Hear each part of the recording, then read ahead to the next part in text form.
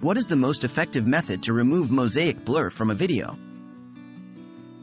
Hello and welcome to our tutorial video. Today, we're going to explore the topic of mosaic blur removal from videos. Mosaic blur is often used as a tool to censor or obscure certain parts of an image or video. However, sometimes you might need to remove that mosaic blur for various reasons. So let's delve into the methods to help you achieve this. What is mosaic blur? Mosaic blur, also known as pixelation, is a method used to disguise details in an image or video. This technique replaces each pixel in an area with a larger block of the same color, making it look pixelated or blurry, hence obscuring the details underneath. Can we remove mosaic blur?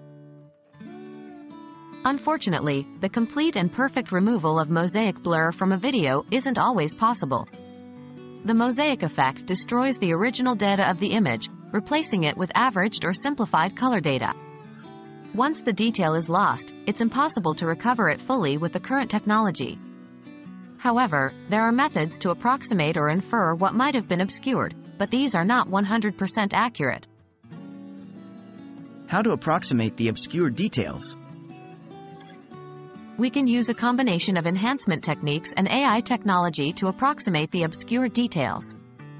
A common method is using AI-based software that can guess what's behind the blur by learning from millions of images. 1. Upscaling. Upscaling algorithms can sometimes help in providing a clearer picture of what's beneath the mosaic blur. These algorithms enlarge the video's resolution, improving the image quality by filling in the missing details as best as they can. 2. AI reconstruction. Artificial intelligence has been used to develop software capable of reconstructing the obscured image. These sophisticated programs use machine learning to guess the missing information. Remember, this is an approximation and not a perfect solution.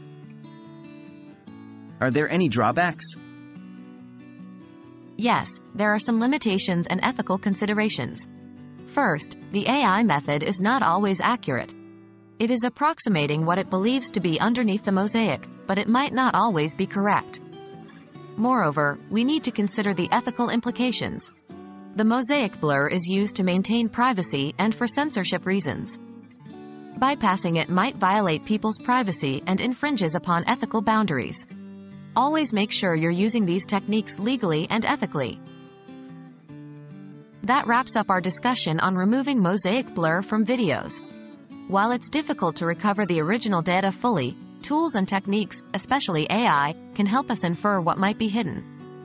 Remember, it's crucial to respect the original intent of the mosaic blur and not use these methods to infringe upon people's privacy or violate laws. We hope you found this information helpful and interesting. Thanks for watching.